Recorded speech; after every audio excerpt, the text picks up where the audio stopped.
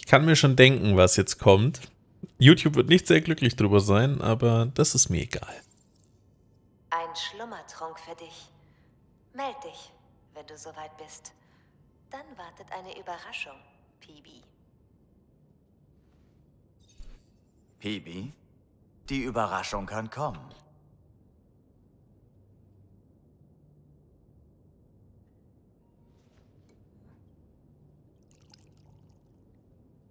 Mmh, sieht das köstlich aus.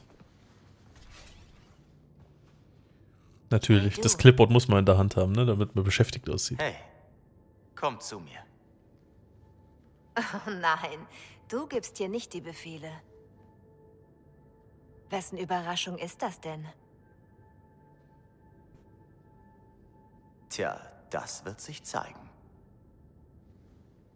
Oh, selbst auf dem Rücken bist du noch anstrengend. Wie sind wir uns begegnet?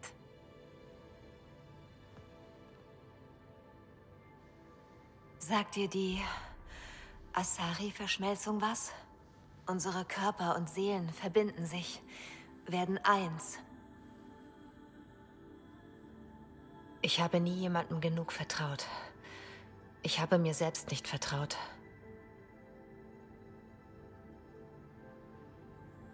Keine Sorge. Bei mir bist du sicher.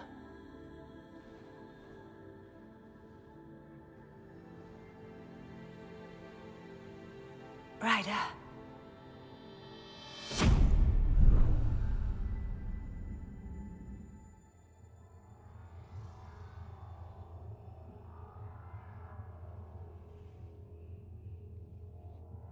Das. Das ist unglaublich. Es ist so still. Wir sind eins. Das alles sind wir.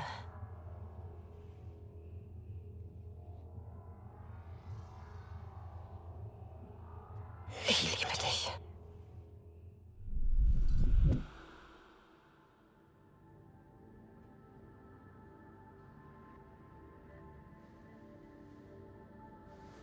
Was ich noch sagen wollte, ich weiß nicht, wieso du Nein gesagt hast, aber ich bin froh. Ich respektiere das. Mit Bindungen bedeutet es viel mehr. Hier gehöre ich hin. Auch wie niedlich. Auch wie putzig. Also sie hat vorher noch nie diese Verschmelzung gemacht. Okay. Ich dachte, das ist vielleicht so ein Ding, was automatisch passiert. So, das ist der, der, der asarische Orgasmus. Da kommt einfach die Verschmelzung automatisch dazu. Keine Ahnung. Man hat, weiß ich gar nicht, hat man jetzt sogar mehr gesehen als in den alten Mass Effect Teilen? Da muss ich aufpassen. Bei YouTube vielleicht. Also man hat ja zumindest die Brüste gesehen. Aber das sollte eigentlich noch im Rahmen sein. Zumindest in einem Videospiel. An Sie von mir noch einmal, bitte, Pibi. Okay, auf geht's. Auf geht's, hallo. Auf geht's, ab geht's, drei Tage Ich wach. versuche immer noch all das zu begreifen, was wir in der Reliktstadt herausgefunden haben. Schrei mich nicht so Es an. ist einfach unfassbar, dass die erschaffen wurden. Welche Auswirkungen hat das? Es führt uns vor Augen, dass es noch so vieles gibt, das wir nicht Oh wissen. Gott, da klopft jemand. Es lehrt uns Ich Demut. mute mal. Tja, ein Glück, dass ich hier bin, um Geheimnisse zu ergründen. Helios wird nämlich von Minute zu Minute interessanter. Wollen Sie noch über irgendwas reden, bevor wir uns wieder an die Arbeit machen? Sehen wir uns später. Das hoffe ich doch. Danke für das Gespräch. Wir In dem Moment, wo ich mute, hört man natürlich auf zu klopfen. Darauf Frechheit. können Sie wetten. Okay, wir haben jetzt auf jeden Fall einen Auftrag, wo wir nochmal auf die Nexus sollen. Äh, also, was heißt Auftrag? Drake möchte sich mit uns auf der Nexus treffen. Ähm, die Vortex war ja auf der Nexus, ne? Ich glaube schon. Ähm, mit Avela auf Aya reden und Carrie. Okay, wir haben zwei Sachen auf der Nexus, eine auf Aya. Dann gehen wir als erstes nach Aya.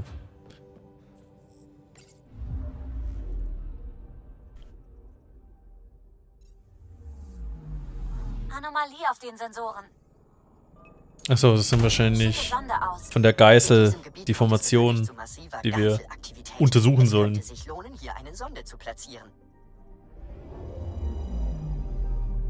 Oh, die ist lila. Schön. Die Sonde zur Datenerfassung ist bereit. Wir können sie jederzeit in Position bringen. Raumanomalie als Folge der Geißel. Dunkle Energien, Gravitations- und Strahlungsauswirkungen. Messbar zusammensetzt. Äh, messbar. Zusammensetzung Eis, Mineralsplitter, Element Zero, unbekannte Materialien. Die von diesem Bereich abgestrahlte Energie ist schwächer als erwartet. Durch Einbringung einer Sonde ins Zentrum der Formation könnten Daten gesammelt werden. Sonde abgesetzt. So. Dann ist das hier erledigt. Äh. Alter, wie viele neue Gebiete jetzt aufgetaucht sind. Are you fucking kidding me?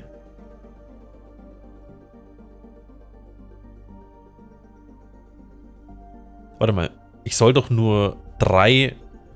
Oder ist das egal, wo ich die mache? Kann ich mir die Gebiete aussuchen? Weil hier kann ich jetzt hier, hier und da oben, da auch, da.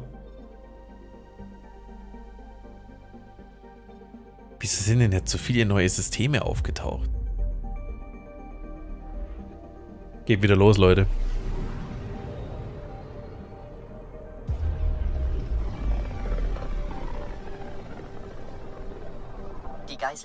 Systemen wirklich deutliche Spuren hinterlassen. Im Raum dahinter wird's eng. Wir sollten vorsichtig sein. Boah. Da hat sie richtig Anomalie Bock gehabt. geortet. Sonde unterwegs. Anomalie gefunden. Komet Revolver, habe ich das gerade richtig gelesen.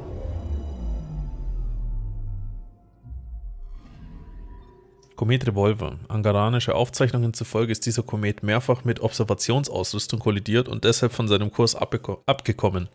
Er folgt nun einer Bahn, die zu einer Zerstörung führen würde.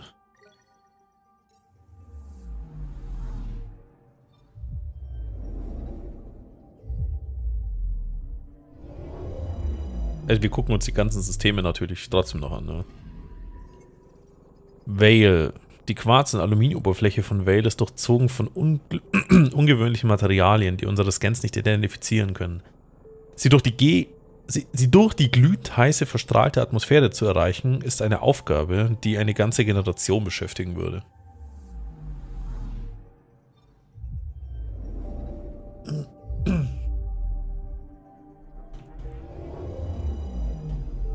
Ja, mal, was macht mein Nachbar? H088. Unendliche flache Wüsten bedecken die Oberfläche von H088 und der trübe Himmel ist ständig von Blitzen durchzogen. Eine einzige riesige Grube wie ein verlassener Steinbruch deutet auf Bergbau durch Besucher vor langer Zeit hin. Mm -mm -mm.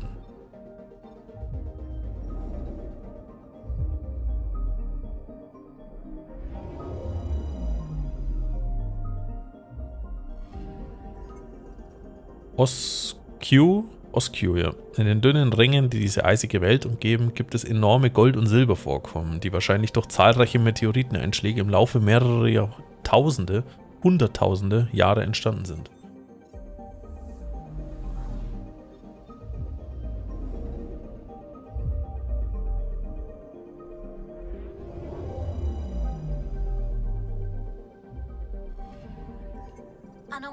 Siktin, trotz seiner Größe war dieser Gasriese. Größe? Trotz seiner Größe? Ich vermute mal, da steht Größe. Also da soll Größe stehen, das ist ein Tippfehler. Trotz seiner Größe war dieser Gasriese bei früheren Erkundungen von der Milchstraße aus nicht sichtbar. Ob er einfach übersehen wurde oder die Geißel der Grund dafür ist, muss derzeit Vermutung bleiben. No! Schicke Sonde aus. Sonde unterwegs. Empfange Daten vom Asteroiden. Satellit. Dieser Satellit der Andromeda-Initiative scheint auf die Untersuchung von Siktin programmiert gewesen zu sein, aber viele seiner zentralen Bauteile wurden entfernt. Thanks for nothing.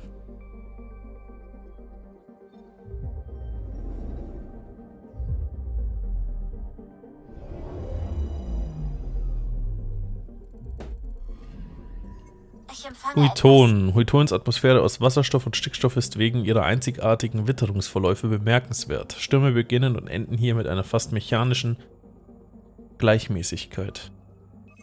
Sonde unterwegs. Anomalie gefunden.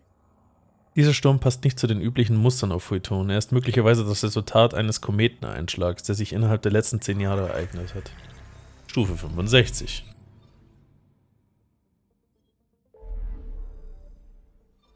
Es geht weiter, weiter, immer weiter. Ja.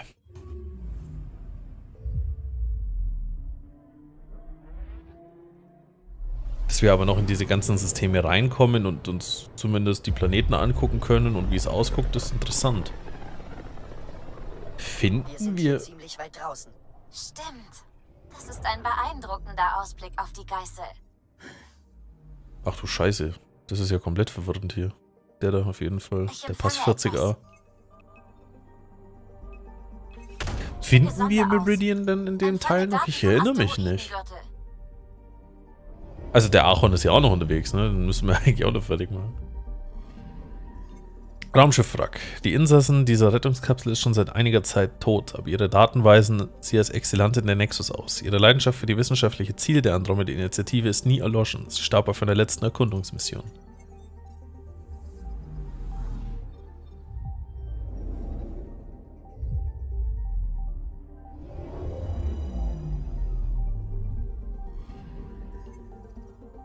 Everroden. Ever. Everoden, Everroden, irgendwie so. Bilder eines unbemannten Flugs über Everroden haben die Angara schon vor Jahrhunderten auf seine Edelsteinvorkommen in den Bergen aufmerksam gemacht. Der Planet war ein Symbol fremdartiger Schönheit und ist heute fast vergessen. Ein Emerald-Planet.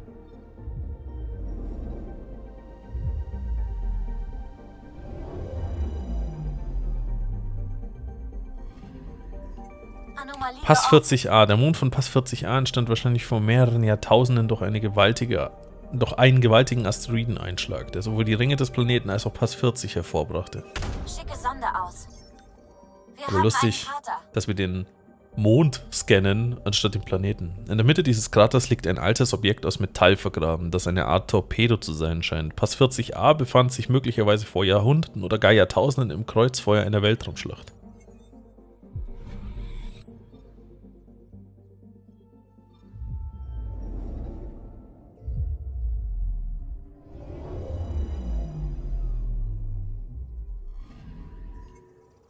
Pass 29. Der ständige schwefelhaltige Regen auf Pass 29 verdunstet, bevor er auf die Planetenoberfläche trifft, wo aktive Vulkane regelmäßig Lavaströme ausstoßen. Hm. Also bei den meisten Planeten liest man ja durchaus immer dasselbe. Es gibt nur ein paar, die wirklich außergewöhnlich sind oder einzigartig. Pass Sensoren. 32 liegt unserer Berechnung zufolge in sicherer Entfernung von der Geißel, sodass die von dem Planeten aus gemachten Beobachtungen durch die Geißeleffekte kaum verzerrt werden. Das ist wahrscheinlich wieder ein Satellit. Satellit entdeckt. Dieser Satellit benutzt anscheinend Technologie der Andromeda-Initiative und ist so ausgerichtet, dass er die Geißel beobachtet. Wie und warum er der in den Einsatz kam, ist allerdings völlig ungeklärt.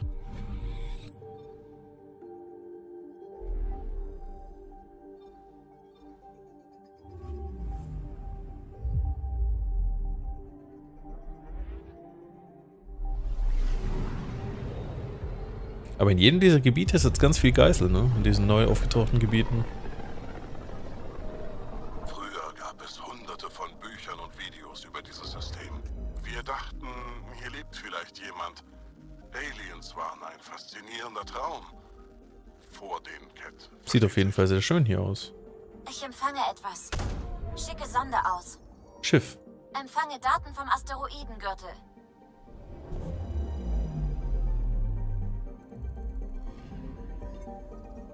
Dieses Forschungsschiff der Cat scheint in dem Asteroidenfeld nach Leben gesucht zu haben, bevor es zu einem Triebwerksausfall kam. Einige wenige Gesteinproben sind wie durch ein Wunder unversehrt.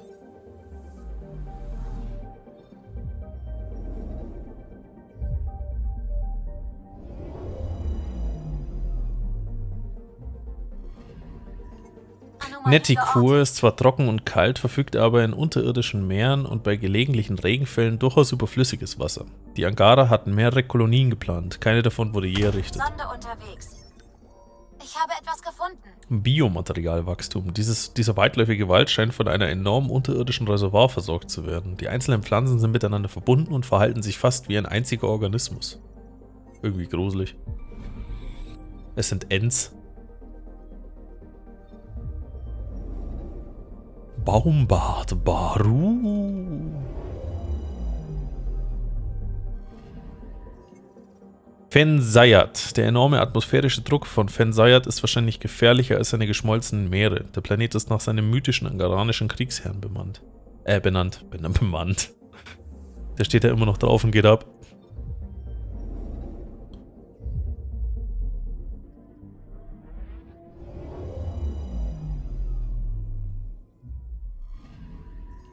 Ich empfange etwas. Stodran ist der größte Mond des Gasriesen Irivosna. Angaranische Astronomen glaubten früher, es gebe dort Wassereis und vielleicht sogar mikrobiologische Lebensformen. Sonde gestartet. Orte die Überreste eines Schiffes. Dieser Ket-Satellit scheint den Asteroidengürtel des Vaotessa-Systems zu beobachten. Er führt aus sicherer Entfernung detaillierte Scans durch. Solche Informationen sind halt schon ja, so nice to have oder naja, nicht einmal eigentlich. Das sind so, so du sitzt halt dran und denkst so, ja, okay. Oder gibt es ja wirklich Leute, die dann sagen, boah, krass, hier waren die Cat auch. Die haben sich das auch angeguckt, das wollen die hier. Braccioni ist nach einem angaranischen Roman über einen niemals endenden Winter benannt und ist ein vielversprechender Kandidat für den mechanisierten und automatisierten Abbau von Wassereis.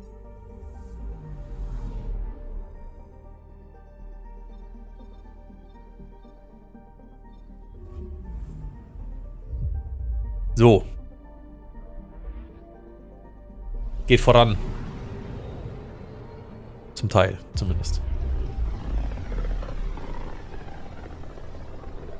Sieht aus, als wären wir unterwegs zu einem ziemlich energiereichen Stern.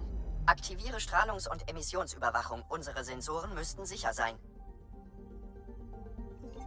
Anomalie auf den Sensoren. Sonde gestartet. Anomalie Ja, gefunden. Element Zero, dachte ich mir schon. Sieht ja immer so aus. Aua, meine Augen. Element Zero bildet sich üblicherweise nach einer Supernova. Dieses Vorkommen scheint natürlich entstanden zu sein, aber die Begleitumstände passen nicht. Könnte die Geißel dabei seine Rolle gespielt haben?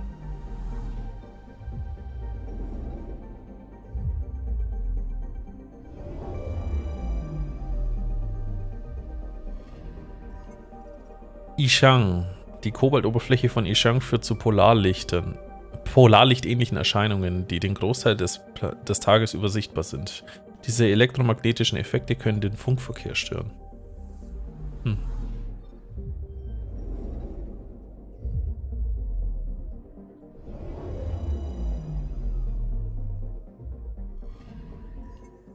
Pass empfange etwas. 51. Viele Bedingungen auf Pass 51 würden die Entwicklung von Leben, zumindest mikrobiologisches, begünstigen, aber die extremen Temperaturen sind ein nur schwer zu überwindendes Hindernis.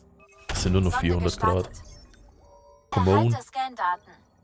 Berg. Aus diesem aus Rissen in diesem Berg entweicht Wasserdampf, was darauf hindeutet, dass tief unter der Erde, wo die Temperaturen weitaus niedriger sind, ein Reservoir existieren könnte. Falls sich auf Pass 51 Leben entwickelt, dann wird es an diesem Ort sein.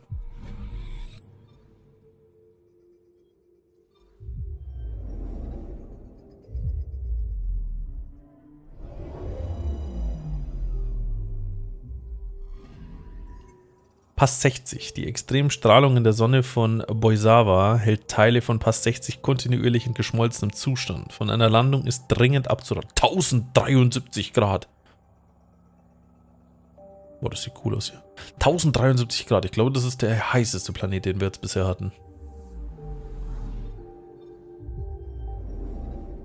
Gut, also das ist aber auch ein blauer Zwerg. Riese, wie auch immer. Nee, Riese nicht, ne? Dafür ist er zu klein. Blauer Zwerg wahrscheinlich. Typhrondra. Typhrondras Wetter ist für einen Gasriesen ungewöhnlich ruhig. Seine Wolken und Gewitterstürme bewegen sich in langsamen, berechenbaren Mustern, die eine genauere Untersuchung wert sind. Okay. Begeben wir uns nach Aya.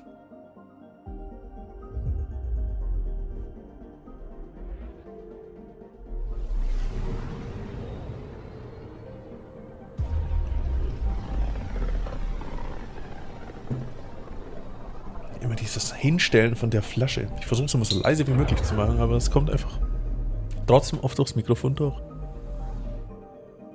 Muss mir angewöhnen, das aufs Mauspad zu stellen.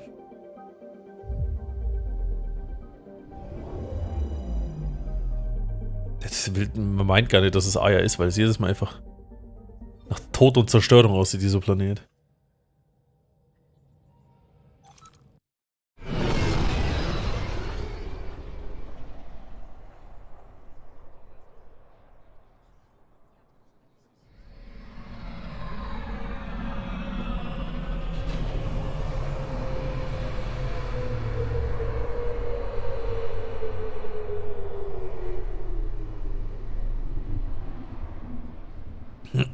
Okay, jetzt muss ich überlegen. Mm, mm, mm. Das wird jetzt interessant. Ich glaube, ich werde speichern und laden müssen. Denke ich. Und zwar, um euch zu erklären, was ich meine. Ich habe ja mit ihr auch immer geflirtet. Und da Pibi mich jetzt gerade geholt hat und sie mich jetzt auch holt und Carrie auch, gehe ich davon aus, ich kann jetzt auf die Romanze eingehen. Wo ist sie denn? Okay.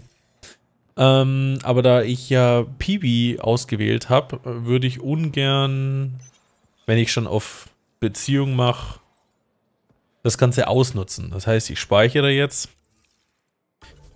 Für das Let's Play zeige ich euch das jetzt, wie die Romanze aussehen würde, falls ich es überhaupt hinkriege. Kann ja sein, dass es nicht funktioniert. Und dann lade ich nochmal. Hübsche Aussicht. Ich stelle mir gerade vor, was meine Vorfahren sagen würden, wenn sie sehen könnten, was wir aufgebaut haben. Wie wir aufgeblüht sind, trotz allem. Und ja, ich weiß, dass das nur ein Spiel ist. Aya geben mir Hoffnung. Aber trotzdem. Wir könnten in Helios wirklich heimisch werden. Das können sie. Und das werden sie. Ich habe die von ihnen geborgenen Artefakte untersucht und dabei etwas Unglaubliches entdeckt. Unsere Geschichte ist deutlich kürzer, als wir bislang dachten. Sie reicht weniger als ein Jahrtausend zurück. Es ist, als wären wir plötzlich entstanden, als komplett ausgebildete Zivilisation. Wir wissen inzwischen, dass ihr Volk von den Jardan erschaffen wurde. Ja, aber was, wenn sie auch unsere Kultur entwickelt haben? Wenn sie uns Traditionen und Überzeugungen mitgaben, die wir fortgeführt haben? Solange wir unsere Vergangenheit nicht kennen, können wir auch nicht über unsere Zukunft entscheiden. Ihre Entdeckung könnte noch etliche Generationen beeinflussen. Ich glaube nicht, dass ich ohne sie jemals so weit gekommen wäre, Ryder. Sie hören sich an, als wäre unsere gemeinsame Zeit vorüber. Aber das muss nicht so sein. Wie einfach das bei Ihnen klingt. Oh, ein Bussi. Tut mir leid. Das hätte ich nicht tun sollen. Ich will das, Avela. Sie nicht? Natürlich. Ein schicker Forscher von den Sternen. Wie sollte ich mich da nicht verlieben? Aber diese Arbeit verlangt meine volle Aufmerksamkeit. Und Sie, vor Ihnen liegt eine gewaltige Aufgabe.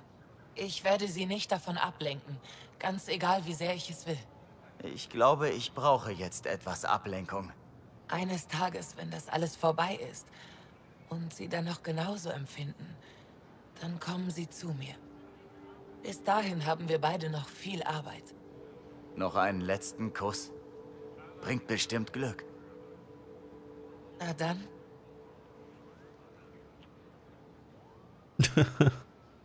okay, also mit ihr kann man, äh, ich sag zumindest mal, nicht weiter körperlich werden.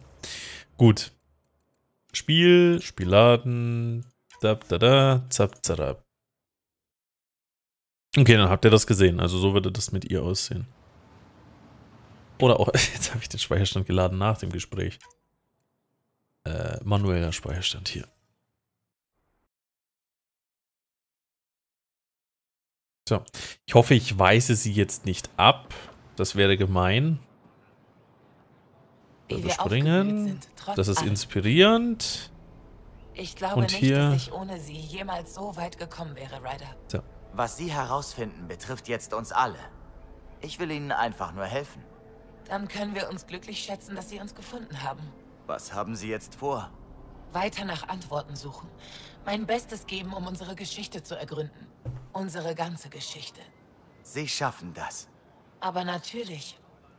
Schließlich haben wir Sie auf unserer Seite. Okay. Gut, wir mussten sie jetzt nicht bösartig abweisen, also kann ich damit leben.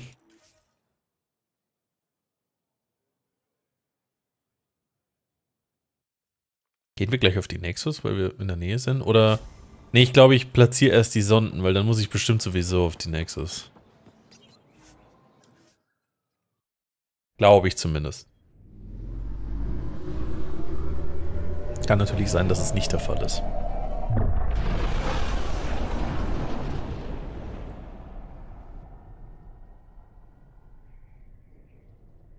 Okay.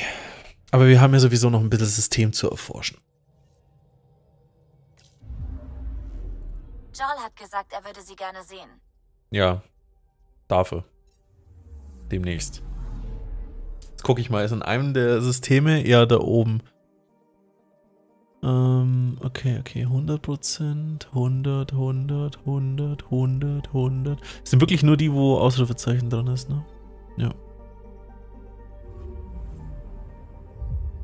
Okay, dann haben wir jetzt noch drei. Hm, War's, sind es glaube ich wieder alle, ne? Glaube ich.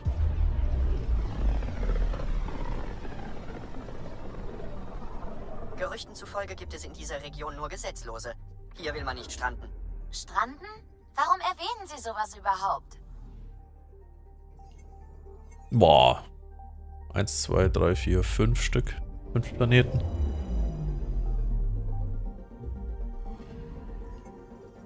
Kizrata. Die Geißel hat in der Atmosphäre von Kizrata massive elektromagnetische Störungen verursacht. Es wird dringend empfohlen, Abstand von dem Planeten zu halten. Er hat auch schon 730 Grad. Da sind wir auch schon gut dran.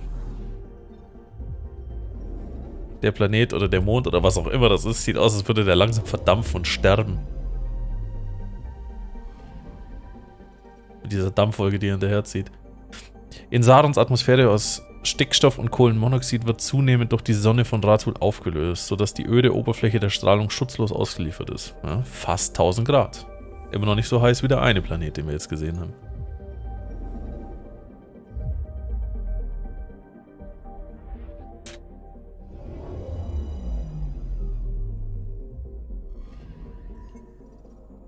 Erkundungen aus der Milchstraße ergaben, dass es im Rathul-System zwei Gasriesen gibt. Könnte die Geißel in weniger als sechs Jahrhunderten eine einzige Welt daraus gemacht haben oder steckt etwas anderes dahinter?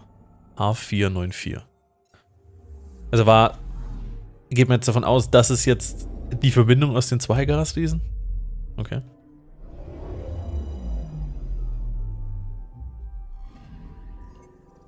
Geortet. sieht einfach nach der Erde aus, der Planet. Ups. Hybaro hat sich in bizarrer Weise an die Geißel angepasst. Für etwa ein Drittel der Umluftzeit ermöglichen die Auswirkungen der Geißel, dass Pflanzen gedeihen. Den Rest der Zeit wird Hybaro von der Sonne von Ratul geröstet. Sonde gestartet. Orte ein großes Mineralienvorkommen. Eisen.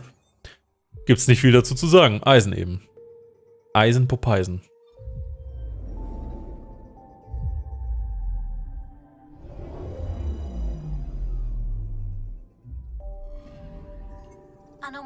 Govoks Torheit. Die Geißel und einige ungewöhnliche Orbitalmechaniken sorgen dafür, dass es auf Govaks Torheit nachts eiskalt und tagsüber glühend heiß ist. Der verbannte Govok wollte das zu einem Vorteil ausnutzen, hatte aber nur wenig Erfolg. Sonde unterwegs. Erhalte Scandaten. Schiff. Dieses Cat-Landungsschiff scheint gerade Govoks Torheit zu verlassen und zu ver verlassen zu haben. Als es unter Beschuss gerät. Vielleicht ist Govok noch am Leben und durchaus aktiv. Okay. Und trotzdem suchen wir nicht danach, ja?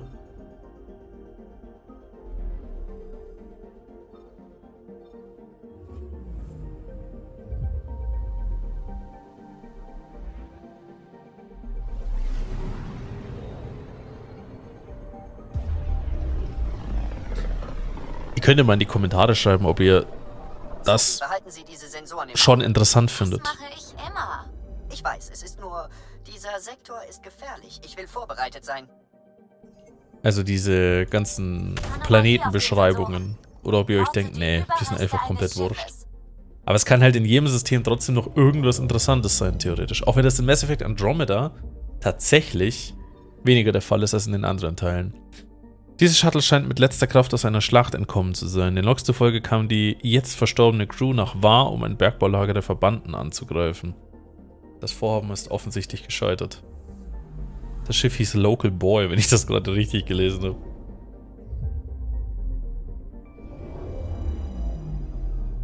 Ist aber auch wieder ein sehr, sehr schönes System.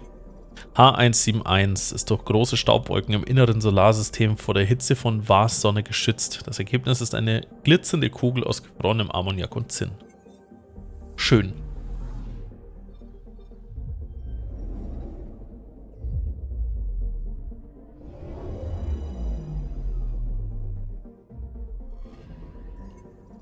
H174 ist von gefrorenem Ethan bedeckt und die Eisplatten wurden nur durch niedrige Berge und flache Krater durchbrochen. Dank der Staubwolken im inneren System gelangt nur wenig Sonnenlicht zu dieser Welt. Schicke Sonde aus.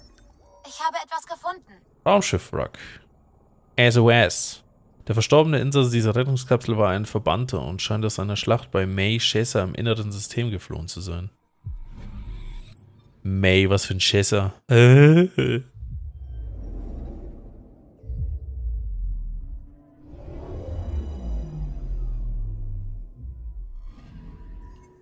Äh. Margot, außergewöhnliche gefährliche Oberfläche, ist weniger interessant als sein Ringsystem. Der innere Ring besteht hauptsächlich aus Staub und Felsen, der äußere Ring aus großen Brocken Wassereis. Oberflächentemperatur, wir haben einen neuen Sieger, 1200 Grad Celsius. Jetzt geht's aber los, oder, mit den heißen Planeten. Der hier ist noch näher dran, glaube ich. Vielleicht geht's dem noch schlimmer. Wie kann das gefrorene Wassereis da draußen sein? Ich empfange etwas. Hier wurde vor kurzem ein Bergbaulager der Verbanden zerstört. Ein nur bruchstückhaft vorliegender Notruf beschreibt die Angreifer als andere Exilanten. Es gab keine Überlebenden. Sonde unterwegs. Orte ein großes Mineralienvorkommen. Graphit.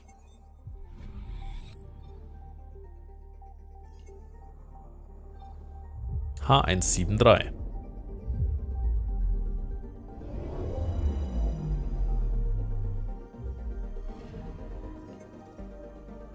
Riesige Ozeane aus Ethan und dünne Schichten Wassereis bedecken die Oberfläche von H173. Eisabbau wäre möglich, aber es gibt dafür mit Sicherheit reichhaltigere Vorkommen auf angenehmeren Welten.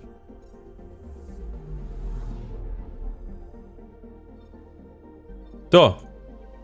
Auf nach Rovir.